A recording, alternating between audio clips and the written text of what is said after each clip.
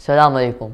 In this episode of Reflection on Sahifa Sajjadiya, we will be analyzing dua number 24. This dua is specially for parents because in this dua we ask Allah to forgive their sins and their shortcomings.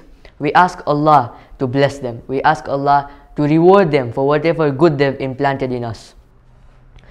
In this dua, we also ask Allah to help us in being compassionate towards them.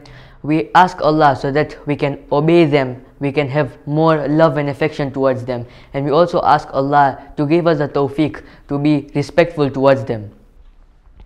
I would like to quote one phrase from this dua and forgive them through their devotion towards me. This phrase explains that how much our parents are devoted towards us, how much love they have for us, how much affection they have for us. Our mother has kept us in her womb for nine months with all the trouble she's taken just to bring us in this world.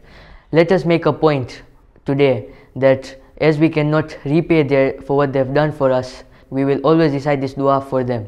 Wassalamu alaikum warahmatullahi wabarakatuh.